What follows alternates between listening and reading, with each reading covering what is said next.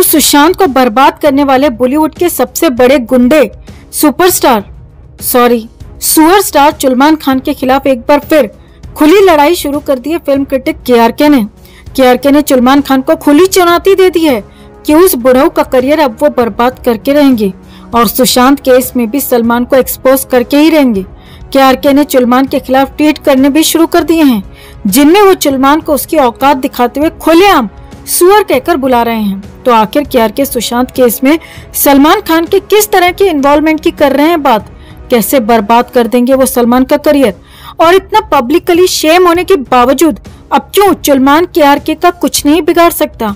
आपको दिखाते हैं, बताते हैं सब। आप भी इस खबर को ज़्यादा से ज़्यादा लाइक और शेयर कर अपना प्यार और सपोर्ट दिखाएँ और कमेंट में। इसे लेकर आप भी अपनी बात अपनी राय ज़रूर रखें। चैनल के साथ जुड़कर चैनल को सब्सक्राइब कर, हमारी आवाज़ बने। तो के और सलमान खान का झगड़ा तब शुरू हुआ जब के ने सलमान की वन ऑफ़ द फ़िल्म का रिव्यू किया था और तब सलमान खान को बुढ़ऊ कहकर बुलाया था। और यहाँ से इन दोनों का झगड़ा ऐसा चला कि सलमान ने के के खिलाफ डिफेमेशन केस कर दिया। कई बार ऐसा भी हुआ कि जब के इंडिया आए दुबई से तो एयरपोर्ट से ही उन्हें अरेस्ट कर लिया गया।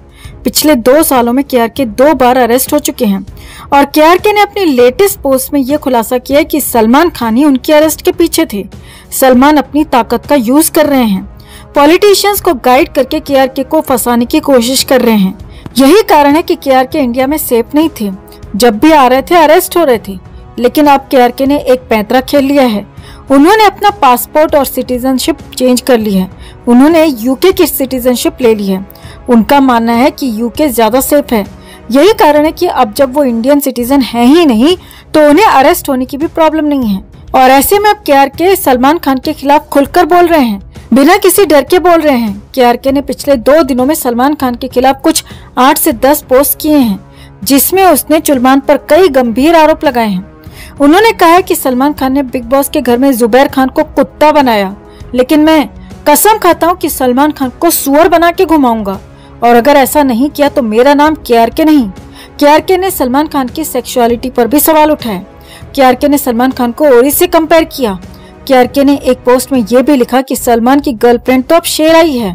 के के ने यह तक कहा कि सलमान मेरा कुछ नहीं बिगाड़ सकता, क्योंकि अब मैं इंडियन सिटीजन नहीं। और तो और के के ने सलमान को ये तक चैलेंज दे दिया है कि साजिद नडियाद वाला सलमान को लेकर जो फ़िल्म बना रहे हैं, वो फ़िल्म 100 परसेंट फ्लॉप होगी, क्योंकि उसे के के ही फ्लॉप करवाएँगे। के के ने अपने वन ऑफ़ दी पोस्ट में सीबीआई को भी टैग किया है और कहा है कि सीबीआई को सलमान खान से सख्ती से पूछताछ करनी चाहिए सुशांत सिंह राजपूत मामले में। सलमान ही इस पूरे मामले का मास्टरमाइंड है मेन एक्यूज है। के ने इसके अलावा कई और पोस्ट किए हैं जिसमें उन्होंने होम मिनिस्टर ऑफ़ इंडिया और पीएम नरेंद्र मोदी को भी टैग किया है और कहा है कि सलमान ने मुझे मरवाने की कोशिश की, मेरे बच्चों के फ्यूचर को खराब करने की कोशिश की। इस वजह से मैंने अपना हक खोया है। इंडिया में ही मैं अपनी आखिरी सांस लेना चाहता था, लेकिन सलमान खान की वजह से मुझे अपनी सिटीजनशिप चेंज करवानी पड़ी है। सलमान खान के खिलाफ स्ट्रिक्ट एक्शन लिया जाए। के ने अपनी सारे पोस्ट में सलमान खान को भी टैग किया है। लेकिन इधर सलमान खान की तरफ़ से के को ब्लॉक कर दिया गया है।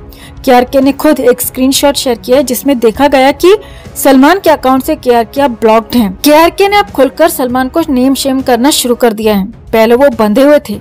डिफेमेशन केस के कारण वो सलमान का नाम नहीं ले सकते थे तो वो कुछ और नामों से सलमान को बुलाते थे। लेकिन पिछले दो दिनों में के ने सलमान का फुल नाम लिया है और इल्ज़ाम भी लगाए हैं। और उनका दावा है कि सलमान अब उनका कुछ नहीं बिगाड़ सकता। इसका मेन रीजन ये है कि के के सिटीजनशिप और पासपोर्ट दोनों ही बदल गए हैं। अब वो यूके के हैं। तो के के इन पोस्ट पर आप क्या कहना चाहेंगे? कमेंट में से लेकर आप भी अपनी बात अपनी राय ज़रूर रखें और वीडियो को ज़्यादा से ज़्यादा लाइक और शेयर कर अपना प्यार और सपोर्ट भी ज़रूर दिखाएँ। कहते हैं, इंसान दस दिन भी अगर किसी कुत्ते के साथ या किसी भी जानवर के साथ गुजार ले तो उस इंसान को उस जानवर से प्यार हो जाता है, उससे लगाव हो जाता है। लेकिन इन फिल्मी नचनियों में इमोशन नाम की कोई चीज़ नहीं होती। ये ज़्यादातर लोग अयाश नशेड़ी और गंदी नाली के वो कीड़े होते हैं, जो सिर्फ़ गंदगी में ही रहना पसंद करते हैं। आज इस गटरवुड से जुड़ी बच्चन बहू की एक ऐसी बेशर्मी भरी दास्ता आप सबके लिए लेकर आए हैं कि जानकर आपको भी यकीन नहीं होगा। तो बेशर्म बच्चन बहू ने की कौन सी हरकत की हर तरफ़ हो गई थू थू आपको दिखाते हैं, बताते हैं सब। आप भी इस खबर को ज़्यादा से ज़्यादा लाइक और शेयर कर अपना प्यार और सपोर्ट दिखाएँ और कमेंट में। इसे लेकर आप भी अपनी बात, अपनी राय ज़रूर रखें। चैनल के साथ जुड़कर चैनल को सब्सक्राइब कर हमारी आवाज़ बने। तो आप सबको याद ही होगा कि साल 2016 में एक फ़िल्म आई थी जिसका नाम था सरबजीत, जिसमें रणदीप हुड्डा ने सरबजीत का रोल प्ले किया था और ऐश्वर्या राय ने उसकी बहन का रोल प्ले किया था, जिनका नाम था दलजीत कौर। जिन्हें नहीं पता है, उन्हें बता दें कि सरबजीत एक भारतीय था और गलती से उन्होंने पाकिस्तान का बॉर्डर पार कर लिया था और पाकिस्तान की सीमा में वो चले गए थे। पाकिस्तानी सीमा में जाने के बाद पाकिस्तानी आर्मी ने उन्हें अरेस्ट कर लिया और सरबजीत को भारतीय जासूस बनाकर उन पर केस चलाया और बाद में फांसी की सजा सुना दी। सरबजीत जेल में सजा काट रहे थे, लेकिन तभी 2013 में पाकिस्तान की जेल में उनका जो है कत्ल कर दिया गया। उन्हें बहुत बुरी तरह से तड़पा तड़पा कर मारा गया था जेल के अंदर। जिससे साफ़ पता चल रहा था कि सरबजीत को मारने में पाकिस्तानी सरकार का ही हाथ था। उन्हीं सरबजीत पर 2016 में फ़िल्म बनी। आपको बता दें, कुछ समय पहले सरबजीत की बहन दलबीर कौर की डेथ हो गई थी हार्ट अटैक से। वही दलबीर जिनका रोल ऐश्वर्या राय ने प्ले किया था। लेकिन ऐश्वर्या राय उनके अंतिम संस्कार में तो छोड़िए, एक बयान तक नहीं दे पाई। जबकि दलबीर कौर ने ऐश्वर्या को अपनी बहन बताया था। लेकिन इसमें एक अच्छी खबर ये भी है कि रणदीप हुड्डा को जैसे ही पता चला कि दलबीर कौर जी का हार्ट अटैक से निधन हो गया है, वो बंदा अपने सारे काम छोड़ के तुरंत पंजाब जाता है और दलबीर के अंतिम संस्कार के सारे रीति रिवाज पूरे करता है और उनकी चिता को अग्नि भी देता है। दरअसल जब फ़िल्म सरबजीत की शूटिंग हो रही थी तो उस समय दलबीर कौर जी, रणदीप और ऐश्वर्या के साथ में उन्होंने डेढ़ से दो महीने बिताए थे। और उस समय दलबीर जी का रणदीप और ऐश से इतना लगाव हो गया था कि उन्होंने खुलेआम मीडिया में रणदीप को अपना भाई और ऐश को अपनी बहन मान लिया था।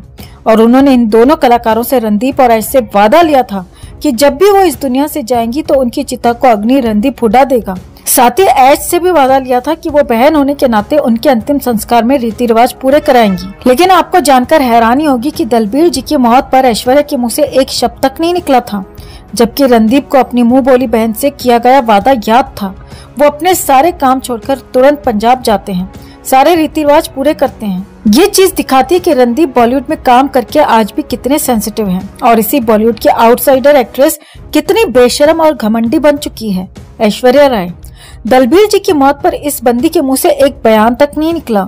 इन नचनियों की जब फ़िल्म आती है तो इन्हें उस समय नाटक करने होते हैं। सारी सिंपति लेनी होती है, और जब इन्हें इंसानियत दिखानी होती है तो ये बिल्कुल पूरी तरह से गायब हो जाते हैं, और मीडिया में दिखना भी बंद हो जाते हैं। यही वजह है कि ये सिर्फ़ अयाशी में डूबे हुए ज़िंदा लाश होते हैं।